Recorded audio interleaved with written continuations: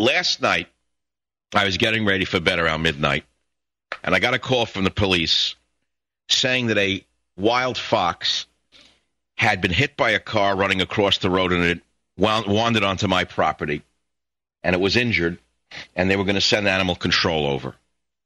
So I said, all right, wait 20, 30 minutes. Police show up, animal control, they go around the property with a flashlight. I come out, you know, there are a lot of these animals are rabid. And I see this poor little thin baby fox, about the size of my poodle, scared to death in a cage. They had found it. And I asked the animal control officer about it. She said, well, his hind legs don't work anymore. And we're going to take it in and we're going to look at it, but we're probably going to euthanize it. I mean, it looked like a pet, you know, gorgeous animal, big eyes, elegant creature.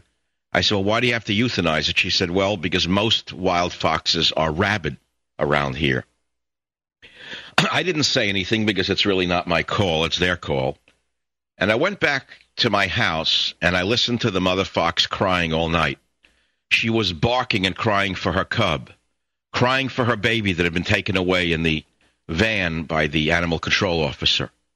I heard the mother calling for hours and hours. Apparently, they both ran across the road, but the baby was not as swift as the mother. The baby got hit on the hind. The mother made it into the bushes, and apparently the baby limped along with broken hips or a broken back and lay there in the bushes till they found it. But I got to tell you something. As that mother cried for her baby cub, something in me understood the call of the wild, and I felt more sympathy for that dead fox. I felt more sympathy for the death of one rabid fox than for the death of Michael Jackson. Play some music, please. It's the Savage Nation.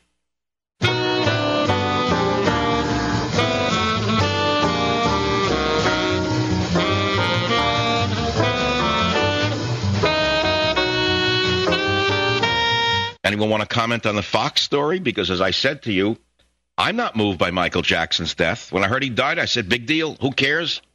I never listened to a Michael Jackson song in my life.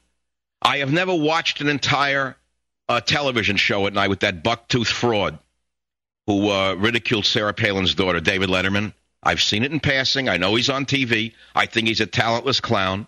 I know that when his writers were on strike, he couldn't perform. So I figure he's nothing. But apparently, there's a lot of Americans who like David Letterman, even though he's a talentless hack. And he, he himself said it. That all he does is uh, pass bad jokes every night. And I think this guy was a mildly talented singer and dancer. I don't understand how you could see it otherwise. In other words, this is part of America's insanity. Insanity is the is the uh, inability to order things. O R D E R. In order for a society to survive, there must be order in the society. When a society becomes disordered, anything can and anything might happen. And so people start to think, wow, he's great. You have to say, well, slow down, children. He's great compared to who?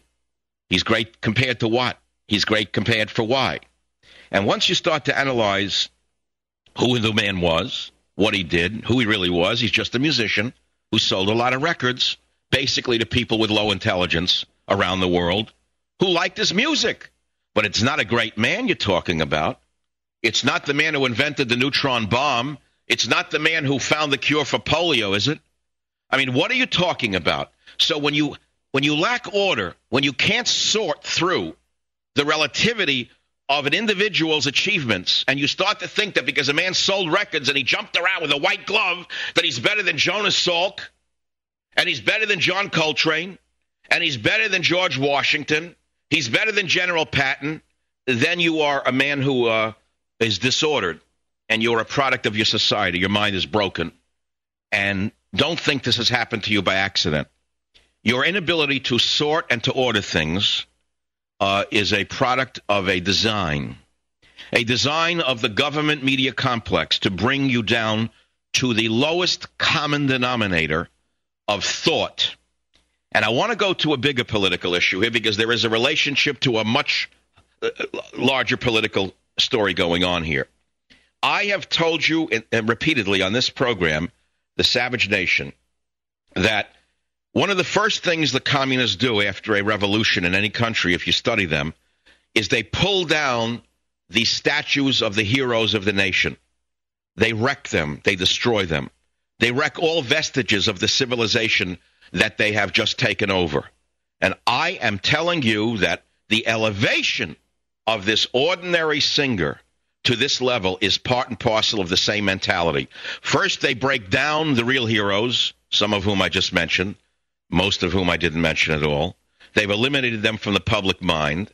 And then they erect uh, statues or mind images of their own heroes who make no sense to people with a sense of history and people with a reasonable education and intelligence. And that is why you people listening to this show today are shocked to see what's going on in your country. When you hear that your president says that he grew up listening to Michael Jackson, uh, not to Chopin, not to Bach, not to Beethoven. He didn't mention one other classical musician, but Michael Jackson. And he said he has Michael Jackson's music in his iPod. And you see this president on training wheels pedaling all over the world in his mental tricycle, saying, Look at me, I'm great, I can save the world. You recognize the trouble you are in. That is my opinion. It is only opinion. It is one man's opinion. Take it or leave it. It's the Savage Nation, 1 800 449 8255. If you want to talk about dying foxes, we can do that. If you love the memorial, I suggest you turn the show off because you're not going to hear a word of it on the Savage Nation. You could turn on one of the droolers uh, for the next few weeks. I suspect he will be lying in state in the National Rotunda shortly, uh, elevated perhaps to a level unseen in the history of the country.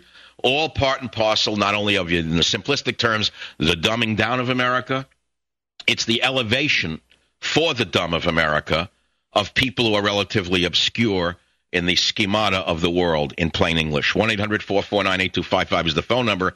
MichaelSavage.com is my website. Let's hear from the callers on the Savage Nation. Chicago, Patrick, welcome to the program. Go ahead, please. Yeah, Michael, you're so right. It's just sickening. Dumb down the country. You know, it's like Michael Jackson is the opium for the masses. Isn't that what the communists always did? Give them something stupid like this to focus on. Not that we just gave away a third of our our, our missile system to the Russians for That's nothing. Right. Don't don't talk about the fact that no. Don't talk about the fact that Hillary Clinton and Obama are now uh, at the, on the same side as Fidel Castro and Chavez and the Sandinistas in the Honduras situation. Make them focus on a man with a white glove.